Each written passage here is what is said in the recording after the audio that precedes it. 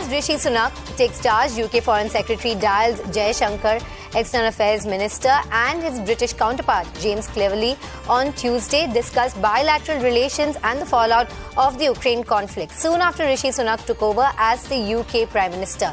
There was no official readout on the conversation from both sides, and Jaishankar said in a tweet that he received a call from Cleverly and that they discussed counter-terrorism, bilateral relations, and the Ukraine conflict. This is the latest coming in. The UK Foreign Secretary has dialed S. Jaishankar, and while we don't have an official statement coming in, we are being told that bilateral relations are being discussed and of course uh, the Ukraine conflict that looms large has been discussed.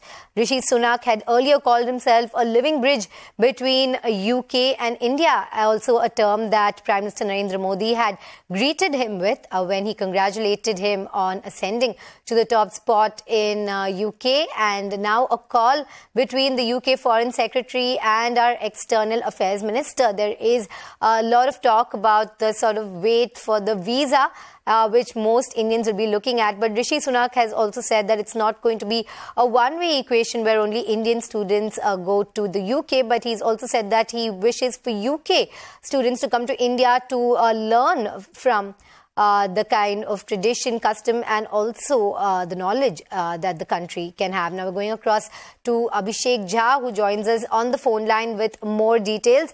Abhishek, what more do we know about the conversation that took place uh, between uh, Cleverly and uh, S. Jaishankar?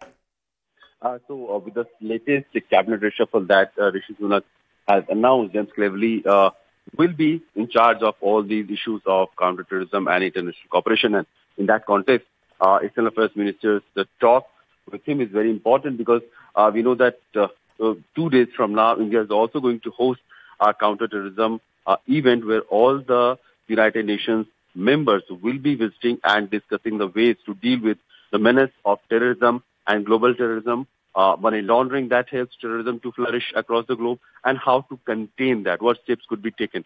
So, uh, as India is also going to host such a major uh, international event under the aegis of United Nations.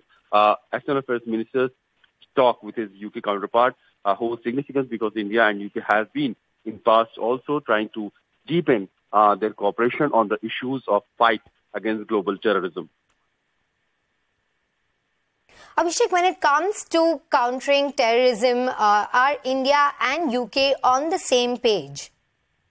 Of course, because uh, India has been one of the victims of counter-terrorism uh, for various uh, several years, and now when the terrorism has actually spread across the globe, it does not uh, have any boundaries. Uh, but we know that there are certain countries, certain geographical locations where these terrorist activities uh, are harbored, are protected, actually let flourish. So in, in that way, India has been uh, Abhishek, I will have to interrupt you because we have some very important